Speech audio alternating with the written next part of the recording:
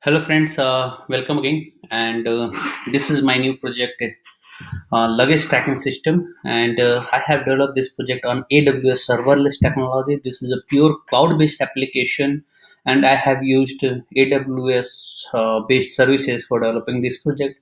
So let me explain you that what technologies I have used for developing the APIs, for developing the front end, right? So uh, for uh, for backend API development, I have used uh, Python, right? So I all of the API we have developed in Python, right? So database I'm using the DynamoDB, and the, for front end development I'm using the Angular. So Angular is a front end technology, right? So from which you can uh, develop the web application, and the backend has been developed in Python. And for that deployment of those python scripts i have used the lambda function right? So for aws services i have used the lambda. Lambda for creating api for deploying api for uh, database i'm using dynamodb and for creating the api endpoint url i have used the api gateway right for deployment i have used the serverless framework means using the serverless framework you can deploy your application, the API Gateway Serverless application on the AWS from your local system, right? So these technology stacks I have used for developing this project, right? So this is a pure AWS cloud-based serverless application where I have used API Gateway, Lambda functions, S3 buckets, and many more things for developing this project, right?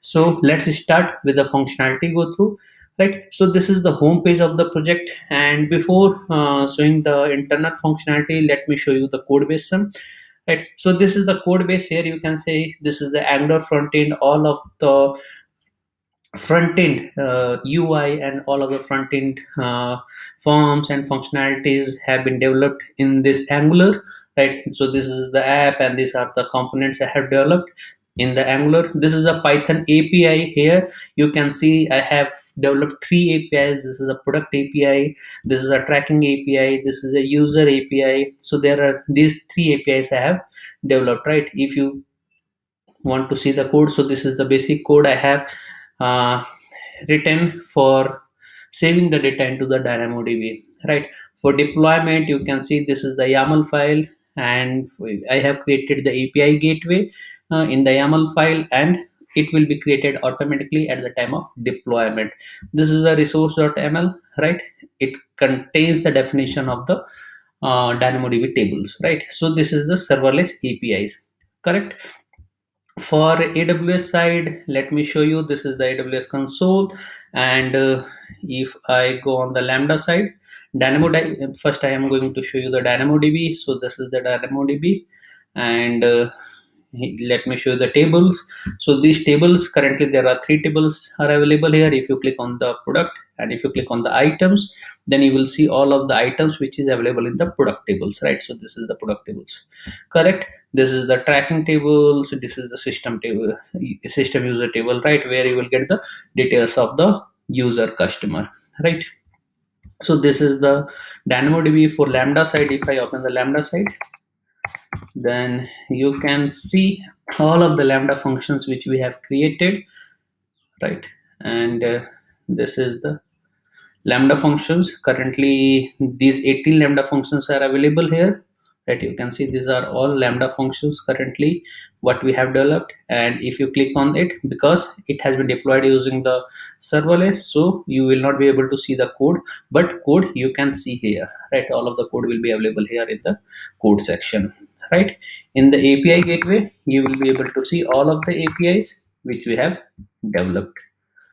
Right? So let me show you the api gateway. Yeah this is the apis and you can see the these are the api urls right? If you want to see the associations just click on it and after that you can see the associations of this lambda function with the lambda function right? So this is the lambda function which this api is calling right? So this is the api gateway and the dynamodb i already uh, explained you and the lambda functions. Now i am going to explain you the functionality that what we have implemented right? So this is the home page of the project. This is the home page. And the login id is amit at gmail.com and password is test once you log inside the system you will get the user report first. So this is a very basic application and this whole ui i have developed in angular version 5 right? So this is the luggage add from here you can add the luggage. So this is the luggage form. This submit is disabled because you have not filled the form. So this is the validation. So if you don't fill the form then submit will be disabled. This is a luggage report. All of the luggage which you have added will be displayed here. Even you can view the track the luggage. Even you can edit it. You can edit the details from here you can see this all details are coming from the uh, MongoDB and through the API gateway and the Lambda functions, right? Okay, so this is the search. You can search uh, here. This is the real-time search, right? And if you want to see the tracking of the tracking of that luggage, just click on the view icon and you will be able to see the trackings. Currently i have not used the production level of uh, google maps. That's why it's showing that it's for the development purpose only. This is the google map which it's showing. Right if you want to see the tracking just click on the view google map. You will be able to see the details of that uh, location right on the google map. Correct so this is the luggage report. This is the add tracking. So there are two level of trackings available here right? First one you can add the tracking from here. So here you need to enter the rfid rfid means this is a iot based application also. This is rfid tags right? Current suppose if you have a, if you have a device which can track the uh, luggage tracking right? And which will be able to send the lat and long of the location then you need to enter this tag right? Here with the luggage and in add tracking section section you can enter that tag and the google lat and google long longitude and latitude right? Even if you have the api then this is the api this is the api url correct. This is a save tracking rfid lat long right? So this is the api url where you will get the api url right? So i have saved this api url here in the environment section. Uh, let me show that where is the environment. Yeah this is the environment section and here you will get the environment. This is the api url right? So we have implemented uh, api also for tracking the application. So you can see uh, let me show you where it is. Right this is the and the tracking.yaml this is right? So you can migrate this api here right here. And you need to enter the RFID tag here lat here and long and after that you can hit that URL from your device and that information will be saved into the database. Correct? So there are two ways to track your application. You can enter the manually or you can automate it through the API from your device integrating this API in your device. Right okay so this uh, yeah so this is the api right? This is the ad tracking. This is a user ad from here. You can add the user details right? You can add any number of users. This is a user report. All of the users which you added will be displayed here. You can edit it. Even you can delete it also right? So this is the user report. This is a logout functionality. This is the user report. This is the logout functionality. Once you log out then session will be destroyed and you will not be able to access the internal pages. Correct? So once you click on the logout then your session will be destroyed. Right? Now if you get the project then how you will deploy this application on our aws server right? So you can deploy this front-end application on the s3 server and after that you can deploy your api on the aws how? Then this is the command. Right? This is the command you need to enter first you have to create your AWS account and after that IAM policy. Once you create your IAM policy, then after creating your IAM policy, you will get two things. The first thing you will get the access key and second one is the secret key. You need to install the AWS CLI as I installed here, right? So this is the AWS. If you enter the AWS, then oh, sorry, uh, I think there is some issue. Yeah slx aws cli and after that you need to configure that secret key and access key in AWS CLI. After that, you need to fire this command AWS deploy stage in which stage you want to deploy production or have anything right? And after that in which region you want to deploy us west 2 once you you need to go inside the folder. Which folder? The python folder where you have written the application where your all api is available right? So currently if you check here then this is not the serverless application. You need to go inside the python serverless api after that you need to run this command.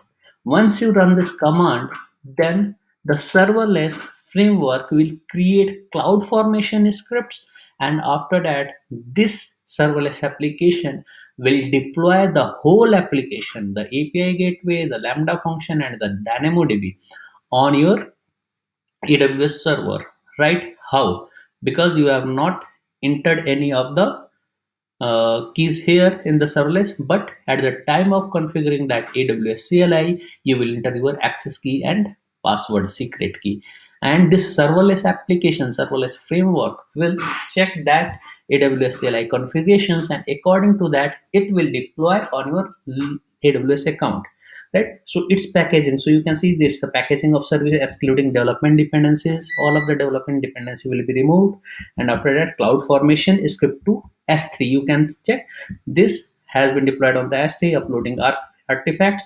And this is creating the gif file and total size is 16.58 MB validating template updating stack and after that it's uploading the things and creating all of the resources which you have implemented in your serverless applications right in your api so all of the lambdas will be created all of the you can say uh, api gateway and the uh, uh, dynamodb will be created. Once it's deployed it will it will show you all of the endpoint urls right? So you can see these all are the endpoint urls right? Here right? You need to copy this endpoint url in your front end application here right? In the environment file.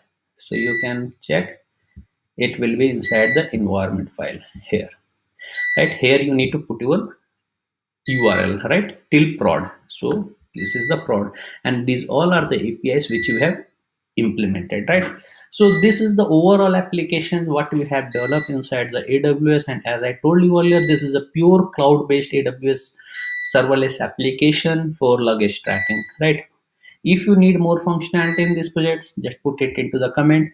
I will incorporate the changes. I will make this project more better and better according to your requirements right? And don't forget to subscribe our channel for getting the latest project videos on the latest technologies. Thanks for watching the video.